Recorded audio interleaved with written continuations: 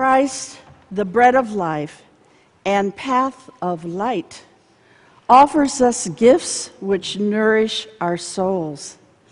In our brokenness, we turn away from his mercy and love. Let us now confess our sin in silent prayer.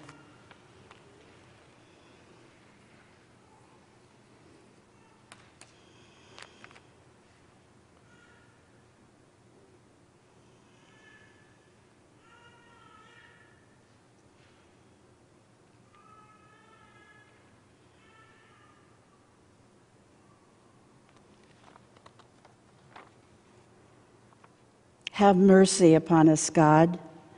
Forgive us for failing to follow Christ.